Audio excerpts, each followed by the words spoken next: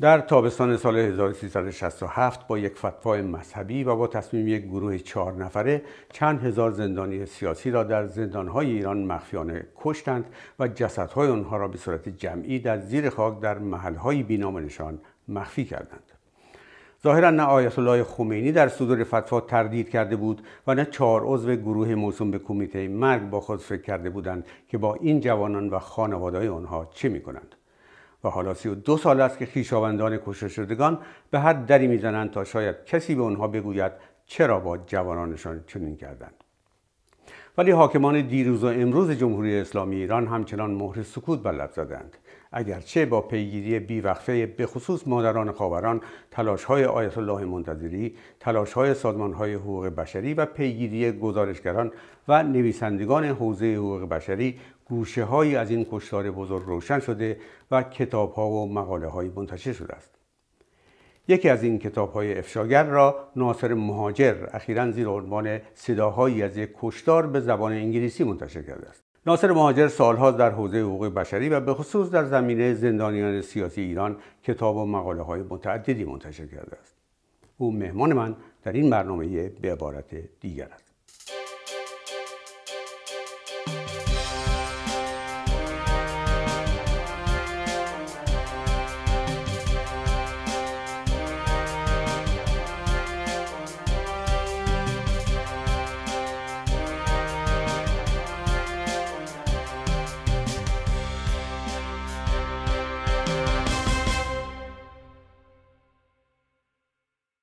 آقای ناصر مهاجر به برنامه به عبارت دیگر خوش آمدید خیلی متشکر هستم. سلام عرض می‌کنم خدمتون و تشکر می‌کنم از شما که بنا به این برنامه دعوت کردید و همچنین سلام عرض می‌کنم خدمت بینندگان این برنامه. آقای مهاجر شما از سال 1383 که از ایران خارج شدید و مقیم پاریس شدید تا به حال کتاب ها و مقاله های متعددی تقریبا همه اونها با تم زندان و زندانی و فرار فعالان سیاسی از ایران و به طور کلی مسائل حقوق بشری منتشر کردید. از جمله کتاب زندان که در دو جلد منتشر کردید و همینطور کتاب گروز ناگزیر که با همکاری میهن روستا مهناز متین و سیروس جاویدی در سال 2008 منتشر کردید که روایت سی به حال فرار فعالان سیاسی از ایران هستش. و حالا هم کتاب صداهای یک کشتار را منتشر کردید که درباره یک کشتار 67 چرا و چطور تقریبا همه کارهای پژوهشی شما با این تم هست؟ ارزم خدمتتون که درسته که بخش بزرگی از کاری که من در 27 سال یا 30 سال گذشته دقیق تر بگم کردم درباره زندان بوده. زندان در ایران به ویژه زندان در دوره جمهوری اسلامی. اما در زمینه های دیگه تاریخ معاصر ایران هم کار کردم و در زمینه احزاب چپ در زمینه مسئله زن در زمینه مسئله قومی در ایران و زمینه های مختلف. آنچه که مربوط میشه به بیش و کم شاید بشه این رو گفتش که آنچه که مربوط میشه به حرکت های و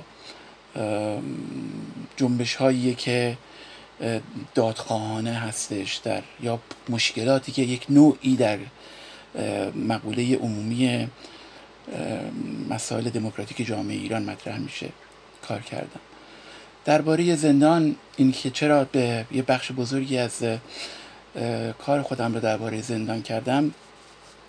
این بودش که من گمان می‌کنم که یکی از گرهگاه هایی که انقلاب ایران رو باعث شد که به این مسیر بیفته مسئله حقوق بشر بود یا بیتوجهی به مسئله حقوق بشر در ایران بود. و این شکست انقلاب ایران یکی از مسائلی که در مقابل پژوهشگر تاریخ قرار میده یا از مسائلی که در برابر هر کسی که به سرنوشت انقلاب ایران و جامعه ایران فکر می‌کرد و فکر می‌کنه قرار میده این هستش که چرا به اون سمت رفت؟ و از میان این گرهگاه ها خب من فکر کردم که مهمترین این گرهگاه هایی که ما داشتیم مربوط حقوق بشر می‌شد و اینی که اون روزهای بعد از انقلاب اون حتی نوع محاکمه ای که سران رژیم پیشین می شدن و فضایی که در مملکت وجود داشت خب این بعد در دوره های بعدی دیدیم که با همون تنابی که انداختن به گردن و به همون شکلی که رفتار کردن با سران رژیم پیشین دیدیم که همینجوری ادامه پیدا کرد و ادامه پیدا کرد. و اوجش سالهای شست بود و کشتارهای سال شست و بعدش هم سال شست و هفت چیزی که بالاخره این دو, دو تا نقطه عطف خیلی مهم داشته. بسیار خوب. اجازه بدید در همین سال 67 در واقع که موضوع اصلی برنامه ماست و در کتاب شما راجع اون هست بمونیم. و اون اینه که برخلاف کتاب های قبلیتون آقای مهاجر این کتاب یعنی کتاب صداهای کشتار به زبان انگلیسی نوشتین. مخاطبتون کیه؟ من یکی از دلایلی که این کتاب رو نوشتم من به هر حال کارم تاریخ هستش و تاریخ نگاری هستش. خب یکی از زمینه های اصلی که رفتم به سراغ این که این کتاب باید به زبون انگلیسی نوشته بشه و من با سالهای سال بود فکر می کردم که باید ما درباره این اتفاق بسیار مهم از تاریخ معاصر ایران حتما باید افکار عمومی جهان نسبت به این مسئله آشنا بشه و مادامی که افکار عمومی جهان نسبت به یک چنین جنایت بزرگی آشنایی نداره ما انتظار خیلی زیادی نمی‌تونیم داشته باشیم نسبت به حساسیت بین المللی خب یکی از از جای ساده ای که شروع کردم نسل بعد از خودم بود چون که بالاخره نسل ما دیگه کار خودش رو کرده و به من از خودم دارم صحبت می‌کنم و به آخر خط خودش داره می‌رسه. ولی بچه های ما نسل بعد از ما که در اینجا بزرگ شدن و زبان فارسی رو بلد نیستن بخوانن و در این حال حساس بودن نسبت به این اتفاقاتی که تو مملکت افتاده پرسش داشتن که چه شد که شما ها آمدید چه شد که اون خاله گفتید اونجوری مرد؟ اون امو گفتید که اونجوری مرد؟ بنابراین یکی از موضوعاتی که در برابر من قرار می گرفت از من, من از من بارها سوال می شد این بودش که بتونم برای این نسلی که بتونه امر دادخواهی رو تو ایران به یک شکلی دنبال بکنه چیزی داشته باشه کتابی داشته باشه در این زمینه. همچنین برای روشنفکران دوستان فرنگی ما پژوهشگران مورخین نویسندگان وقتی ما باشون صحبت می‌کنیم می‌بینیم بسیار اندک می... وقتی که میگیم در ظرف چند هفته در مملکت ما نزدیک به پنج هزار نفر رو کشتن کسانی که زندانی سیاسی بودن کسانی که داشتن جرم خودشونو میکشیدن حکم گرفته بودن غیره تعجب می‌کردن. بنابراین من تصور می‌کردم با خودم و تصور می‌کنم هنوز که یکی از کارهای بسیار مهمی که در برابر ما قرار داره در برابر نسل ما قرار داره و به خصوص کسانی که در این زمینه ها بالاخره می‌تونن کاری انجام بدن ثبت این رویداد تاریخی هستش برای آیندگان. بسیار آقای واجر حالا حالا تا به حال بله تا به حال گزارش ها و مقاله های متعددی در این خصوص به زبان انگلیسی منتشر شده بود. همینطور از جمله اسناد دادگاه های نمادینی که در لاهه و در لندن تشکیل شد اینا اسنادشون همه به زبان انگلیسی منتشر شده. حالا شما چه خلایی وجود داشت که شما حس کردید که ضرورت داره که این وقایع یک بار دیگه به زبان انگلیسی منتشر بشه و در کتاب شما بیاد؟ ما ده ها هزار زندانی سیاسی در اون مقطع در ایران بود. ما نه تعداد کشته شدگان را به دقت می‌دونیم تا این لحظه نه تعداد کسانی که زندانیان سیاسی رو در اون مقطع تاریخی به دقت می‌دونیم. خب یه چنین جنایت هایی که اتفاق میفته پشت درهای بسته به اندازه جان قربانیان خودش راوی داره. و ما هر چقدر این روایت بیشتری داشته باشیم از آنچه که اون روزها اتفاق افتاد بهتر می‌تونیم به یک کلان روایت برسیم. بهتر می‌تونیم روایتی که داریم درست ارائه میدیم بنیادهای دقیق و درستی با داشته باشه خطا میزان خطاش کمتر باشه غیره. به نظر من هر چقدر به توجه بکنید آنچه امروز ما داریم از خاطرات زندانیان سیاسی بیشتر از 80 تا 90 تا ماکسیموم 100 کتاب بیشتر نداریم. از اون همه آدمی که کشته شدن و اون همه آدمی که زندانی بودن و از زندان آمدن بیرون. بنابراین هنوز جا در برای این کار خیلی خالی هستش. و باید بیشتر نوشته بشه از به شما. بسیار خوب. حالا خانم آنجلا دیویس فعال معروف حقوق بشری امریکا پیشگفتاری بر کتاب شما نوشته که پیشگفتار بسیار مبسوط و جامعی هست. و اونجا جملهشو یعنی پیشگفتارش با این تموم کرده که ما نمی‌تونیم در مقابل این کشتارها ساکت بمونیم. ولی ظاهرا جامعه جهانی سی و دو ساله که ساکت نشسته. چون هنوز در ایران برای صادر کننده این فتوا سلوات فرستاده میشه و اعضای اون گروهی که این حکم را دادن و اون جوانها را کشتند در واقع در مسند بالاترین قدرت هستند.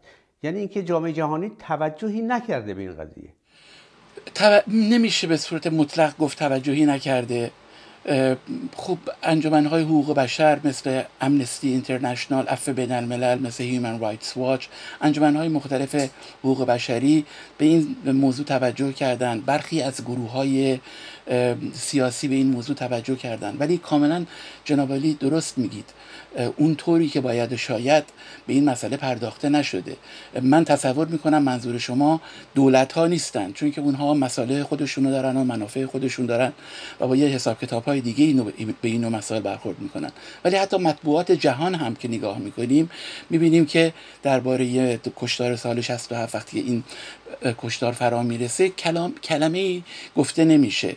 حتی در مطبوعات به هر حال لیبرال آزادی خواه.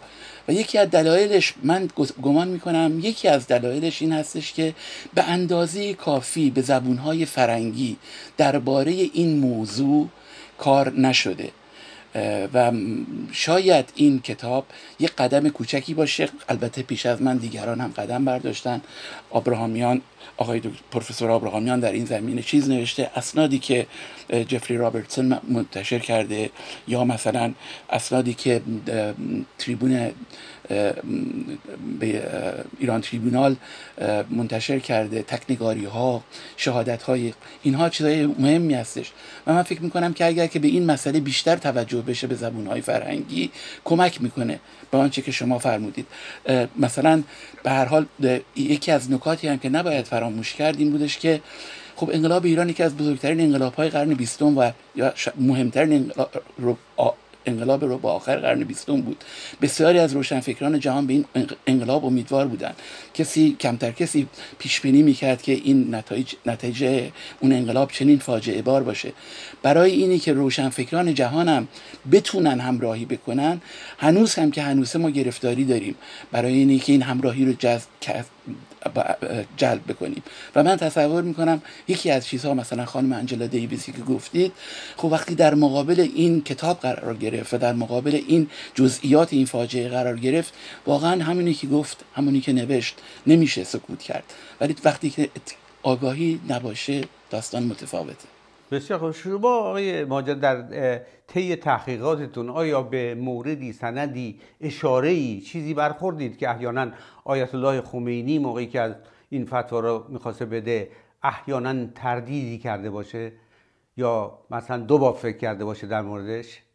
خیر من به چنین چیزی روبرو نشدم. برعکس آنچه که روبرو شدم این بوده که تو جریان پژوهش درباره این کشتار اولین باری که این یعنی که این کارو کردم داشتم که بسیاری از زندانیان سیاسی حتی بهشون زندانمان گفته بود گفته بود که برنامه یک چنین کشتار بزرگی در در, در دستور هستش و شما رو نمی‌ذاریم از این زندان جان سالم به در ببرید.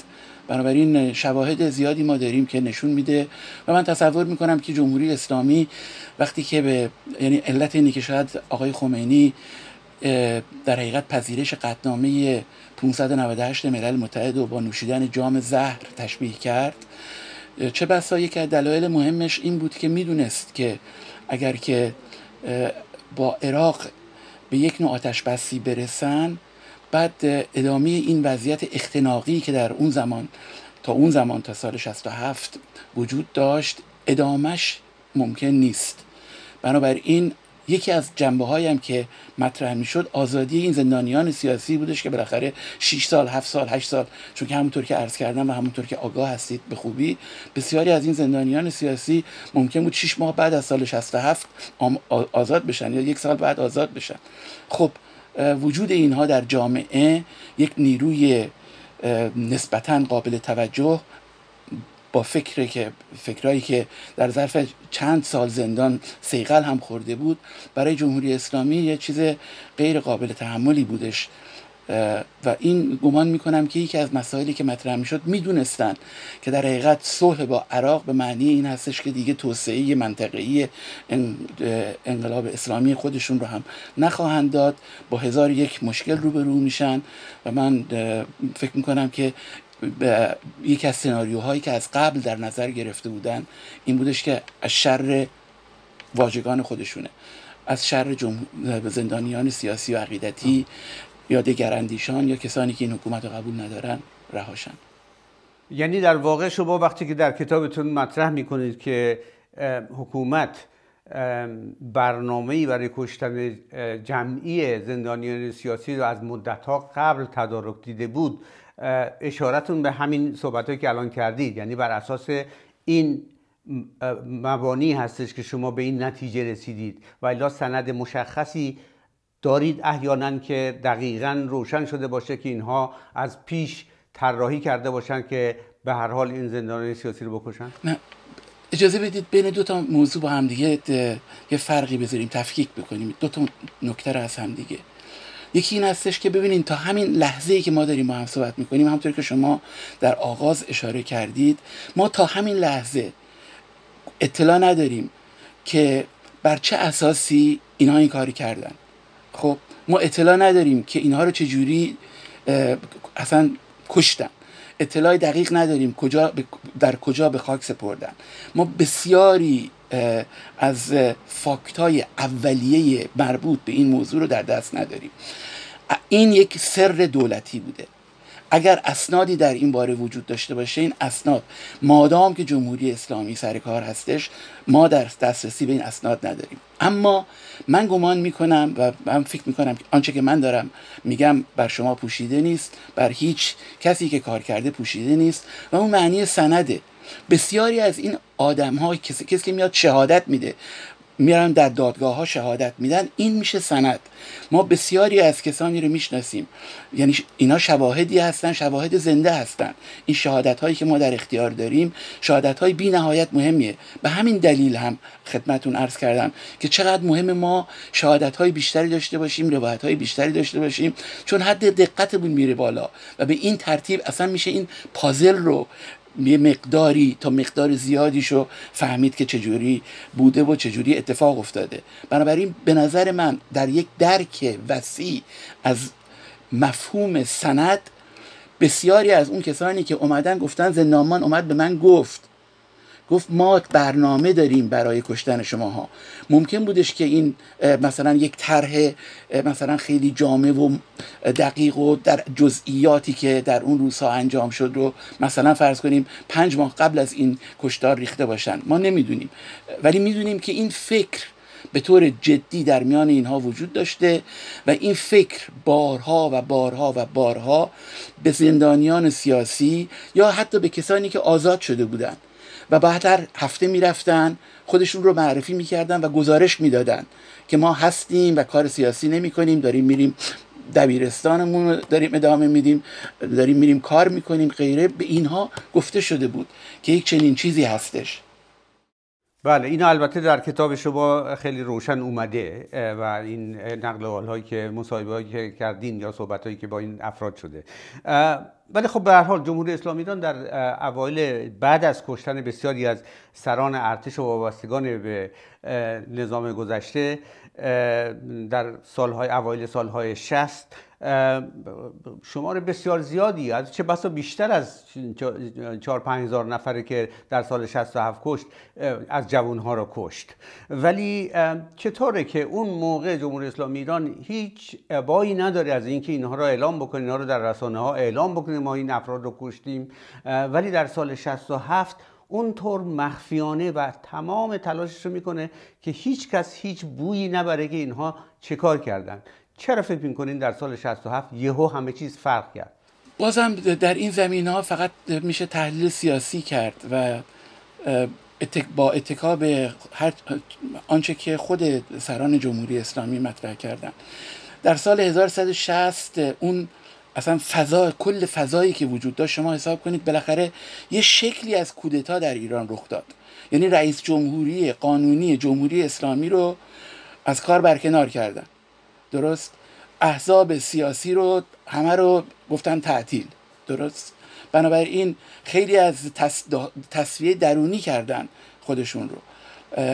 همراه با این تهاجم میری که به مجاهدین و جریانات چپ و بعد در کردستان کردن همراه با این تهاجم گسترده ما شاهد این رو هم هستیم که در داخل خودشون هم یک پاکسازی هایی کردن و تصویه هایی کردن و غیره.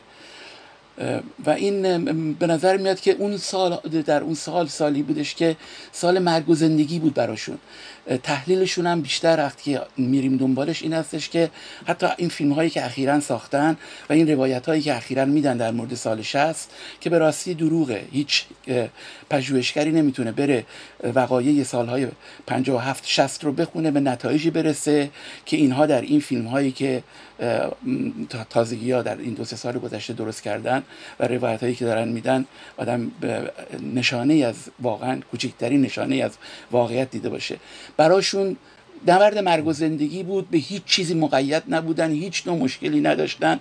می‌خواستن به هر ترتیبی که شده جامعه رو مرعوب بکنن و بتونن یک شکست عظیم به این حرکت مردمی که با هزار آرزو در حقیقت اومده بودن تو خیابون برای یک تحول دموکراتیک در جامعه ایران برای آزادی این رو از بین ببرن. سال 67 کسانی بودن که دیگه زیاد حرف شیطان بزرگ شیطان کوچک نمی‌زدن. بعد با شیاطین نشستن صحبت می‌کردن. بعد می‌رفتن تو ملل متحد. بعد حمایت غربی ها رو می‌گرفتن برای اینی که چجوری می‌تونن با عراقی ها به یک قرارداد بهتری برسن. چجوری می‌تونن به باسازی اقتصاد ویران شده ایران کمک بکنن برای این دو فضای گوناگون من گمان می‌کنم که بله، یعنی متوجه برای حفظ آبروشون به حال مهم بود براشون که با غربی رابطه خوبی داشته باشد ولی حالا وقت وقتمون داره تموم میشه جناب مهاجر خیلی وقت نداریم.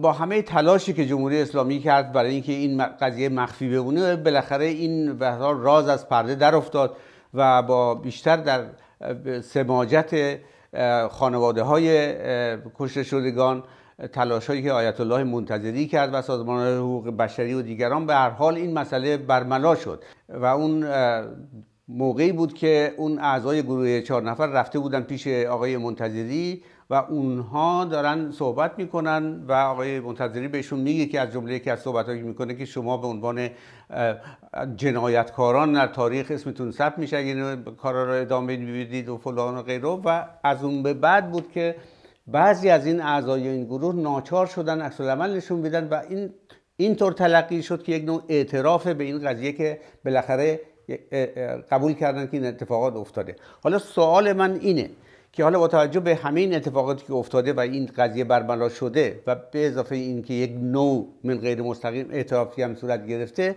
به اضافه جوی که اخیرا در جامعه ایران به وجود اومده و اون جو ضد کشتن و اعدامه. شما فکر می‌کنید اینها ممکنه سبب بشه که این قضیه سال 67 به نوعی آشکارتر بشه و کسانی احیانا ناچار بشن که جواب پس بدن من اون اتفاقی که چند سال پیش افتاد رو در جزئیات نوشتم. صحبت هایی هم که به هر حال حتی آقای خامنه ای آمد کرد که امروز وظیفه ما چه هستش به عنوان جمهوری اسلامی. باید حقایق اون سالها گفته بشه. و اون حقایق اون سالها گفته بشه از آندره مالرو باید به آریت بگیرم ضد حقایق اون سالها رو در حقیقت آمدن مطرح کردن. ما تا کنون کلامی از اینها نشنیدیم که این کلام بتونه نشان دهنده یه واقعیتی باشه. بعد از اون ماجراها اومدن یک سناریویی ساختن و گفتن که زندانیان مجاهد خلق می‌خواستن در زندان شورش بکنن و این بخش از اون برنامه بودش که همون برنامه فروغ جاویدان و حمله مجاهدین خلق از مرزای جنوب به ایران. بنابراین من این بحث هم کوتاه می‌کنم که در جزئیاتش نمیرم ولی می‌خوام بگم که نه ما تا کنون هیچ نشانی نداریم برای اینی که بگیم که به اون سمت داره میره. به هر حال من گمان می‌کنم تا زمانی که جمهوری اسلامی هست ما به واقعیت هایی که در اون سالها اتفاق افتاد پی نخواهیم برد. تا زمانی که جمهوری اسلامی هست این کشتار بزرگ یک سر دولتی خواهد موند و اگرم چیزی دربارش بگن باز برای پنهان کردن این لکه ننگی هستش و این نقطه تاریکی هستش که بر دامن اینها هست و همونطور که اشاره فرمودید منتظری گفت که تاریخ به شما به عنوان جانیان نگاه خواهد کرد. خیلی متشکرم آقای ناصر مهاجر از حضورتون در برنامه به عبارت دیگر. ممنون از شما. منم از شما خیلی متشکر هستم